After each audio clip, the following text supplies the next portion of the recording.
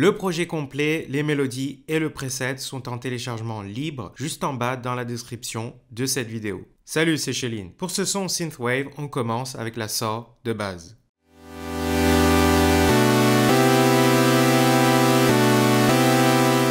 J'ajoute du unison à 7 pour la stéréo et je diminue à 7%.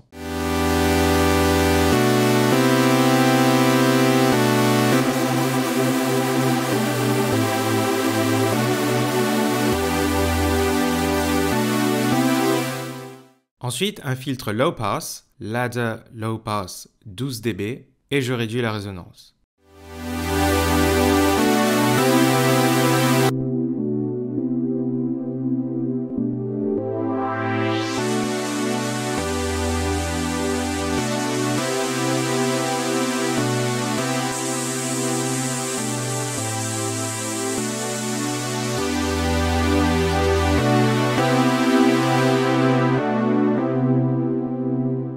On a déjà 60% du son, mais pas vraiment la vibe synthwave. Tu vois, la beauté des sons synthwave, ce sont les imperfections des synthés hardware, comme le Mini Moog, Jupiter 8, etc. Ça rend le son plus vivant. L'objectif, c'est de rajouter du mouvement au son avec les filtres et les enveloppes. Et un élément top secret que je te montre à la fin de la vidéo.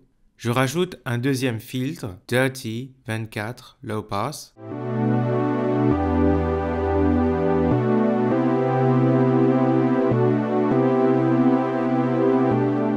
La particularité, c'est que le filtre est assigné après le filtre 1. Alors pourquoi ajouter deux filtres? C'est pour les faire bouger ensemble et rajouter la profondeur au son. J'ajuste l'enveloppe 2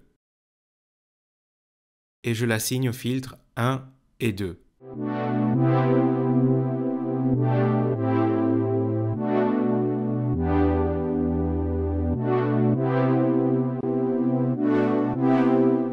Et j'ajuste l'enveloppe 1 de volume, mais c'est pas le plus important.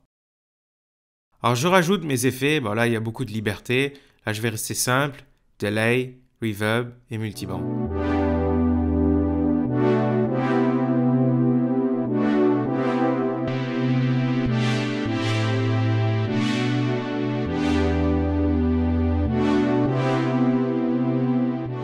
Et là, on a 80% du son, donc il est temps de rajouter l'élément top secret. Je vais assigner un LFO random, c'est un LFO qui bouge aléatoirement, au master tune. Donc tout ça, c'est dans la section advanced.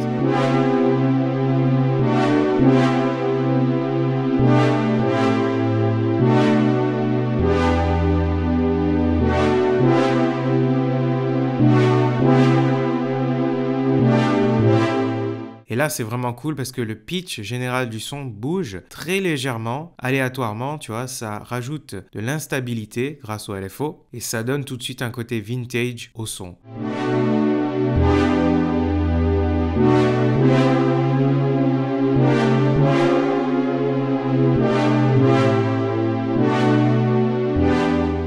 Je te rappelle que Vital est un synthé gratuit qui rivalise sans problème avec Serum qui lui est payant. Alors si t'as aimé la vidéo, n'hésite pas à t'abonner. Allez, à plus.